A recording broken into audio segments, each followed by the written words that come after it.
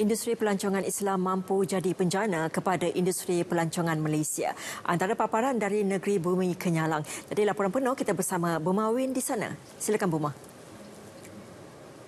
Dorlela, terima kasih. Salam sejahtera dan salam rahmat. Jawatan Kuasa Pengurusan Bencana Negeri memaklumkan bahawa dua kes positif COVID-19 dikesan di daerah Lawas hari ini. Kes ke-705 dan 706 ini merupakan lelaki warga negara tempatan yang bertugas sebagai petugas barisan hadapan di Pos Sempadan Sarawak Sabah di Marapok, Lawas. Kedua-dua lelaki terbabit telah disaring pada 20 September kerana disyaki mempunyai kontak kepada kes positif COVID-19 semasa bertugas di pos sempadan tersebut. Sampel saringan kes telah dihantar ke Makmal Kesihatan Awam Kota Kinabalu Sabah dan pada 26 September mendapati sampel saringan mereka adalah positif. Seorang daripada kes ini telah menunjukkan tanda dan gejala awal jangkitan COVID-19 pada 7 September manakala seorang lagi kes tidak menunjukkan sebarang tanda dan gejala. Kedua-dua kes tidak mempunyai sejarah perjalanan keluar negara atau melawat kawasan berstatus merah di Sabah. Punca jangkitan kes masih dalam siasatan lanjut. Dimaklumkan juga bahawa tiada kes baharu pulih dan dibenarkan discharge dari hospital hari ini. Jumlah kes yang masih mendapat rawatan dan diasingkan di hospital adalah seramai enam orang. Tiada kes kematian baharu dilaporkan manakala dua pesakit dalam siasatan yang baharu dilaporkan hari ini. Industri pelancongan Islam diyakini mampu menjadi penjana kepada industri pelancongan Malaysia. Menteri Pelancongan, Seni dan Budaya Motek, Datuk Seri Nancy Shukri berkata, menyedari potensi besar ini, Motek menerusi Pusat Pelancongan Islam telah merancang melaksana pelbagai inisiatif untuk meneroka pelbagai peluang dalam segmen pasaran berkenaan. Jelas Datuk Seri Nancy ini akan menjadikan Malaysia sebagai destinasi pelancongan Islam pilihan utama terutama pada pasca Perintah Kawalan Pergerakan PKP dan PKP bersyarat dan seterusnya menjana semula ekonomi negara bagi mempercepat fasa pemulihan ekonomi yang terkesan akibat pandemik COVID-19. Menteri itu turut memaklumkan bahawa Dewan Undangan Negeri Sadong Jaya telah dikenal pasti untuk diperkenalkan sebagai destinasi pelancongan Islam. Menurut beliau, pelancongan masjid mendapat sambutan menggalakkan daripada negara bukan Islam seperti Korea, Jepun dan Taiwan. Pelancongan masjid juga boleh membantu mengangkat seni warisan Islam menerusi reka bentuk, seni bina, ukiran dan sejarah. Di Sadong Jaya, beliau memberitahu terdapat 10 buah masjid dan 17 surau yang boleh dibangunkan sebagai masjid pelancongan dan berperanan sebagai pusat sehenti untuk pelbagai kemudahan pelancong termasuk kaunter informasi dan pemandu pelancong masjid. Datuk Seri Nancy menyatakan demikian pada majlis penyerahan cek dan Al-Quran di Masjid Darul Iman Sadung Jaya. Pemimpin-pemimpin tertinggi Gabungan Parti Sarawak GPS mengucapkan tahniah di atas kemenangan Gabungan Rakyat Sabah GRS dalam pilihan raya umum negeri Sabah semalam.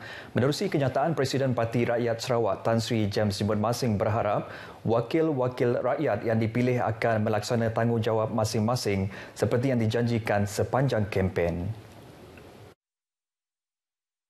Beliau yang juga timbalan Ketua Menteri turut menyifatkan keputusan yang memihak kepada gabungan Parti Perikatan Nasional, Parti Bersatu Sabah dan Barisan Nasional itu adalah suatu pengajaran kepada rakyat di negeri ini. Menurut beliau, ini kerana kemenangan tersebut jelas menunjukkan Malaysia adalah sebuah negara yang kekal serta membuktikan Sarawak dan Sabah dijaga oleh seluruh rakyat Malaysia. Sehubungan itu, Tan Sri James Masing menyeru rakyat Sarawak untuk terus menuntut hak-hak yang termaktub maktub dalam Perjanjian Malaysia 1963 dan Perlembagaan Persekutuan.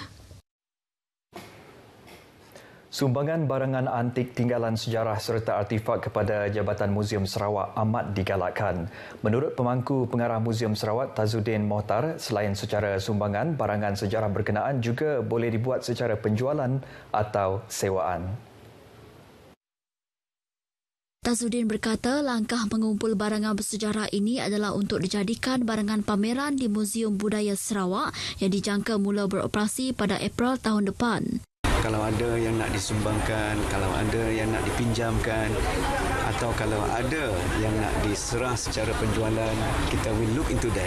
So we have first we have to buat assessment to to the thing that they they feel that they wanted to sell to the museum. Because we have to look at the authenticity of the item, we have to look if there is any cultural or historical significance uh, to the state of Sarawak. So we will make negotiation.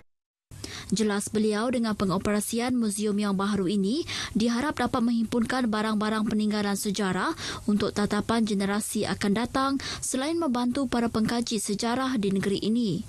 Tazudin memberitahu pemberita selepas menghadiri upacara miring perahu perang Iban yang dilakukan oleh Majlis Adat Istiadat Negeri Sarawak diketuai Igai Melina yang berlangsung di Perkarangan Muzium Budaya Sarawak. Acara ritual mengikut adat Iban ini adalah tradisi sebelum perahu perang Iban berkenaan dipindah masuk ke dalam muzium tersebut. Perahu perang Iban diperoleh pihak muzium pada Disember 1969 yang pada mulanya dimiliki oleh orang Melayu iaitu Ate sebelum dibeli Tuan Rumah Anding Manja bersama sembilan anggota rumah panjang Gezurai di layar betong. Pada tahun 1915, Tuan Rumah Anding menggunakan perahu berkenaan menentang pemberontak di Bukit Salong, Mujung Tanjung Kapit. Timbalan Setiausaha Kerajaan Negeri Dato' Ik Pehon Joik terus menerajui Persatuan Kebangsaan Dayak Bidayah DBNA selepas dipilih semula sebagai Presiden Persatuan tersebut. Dato' Ik Pehon menang tanpa bertanding akan terus menerajui DBNA bagi penggal 2020 hingga 2022. Keputusan tersebut dibuat selepas mesyuarat agung tahunan yang diadakan di Ibu Pejabat DBNA di Jalan Kumpang Kuching menjadikan pemilihan ini sebagai penggal ke-6 Datuk I Pahun menerajui DBNA. Manakala ahli-ahli jawatan kuasa merupakan gabungan muka baru dan lama.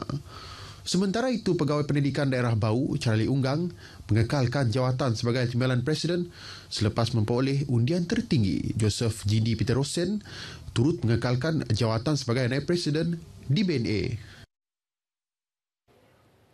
Baik saudara, sekian berita dari Sarawak. Kita kembali bersama Lela di Angkasa Puri. Silakan Lela. Baik Bu Mawin, terima kasih. Baiklah pembangunan projek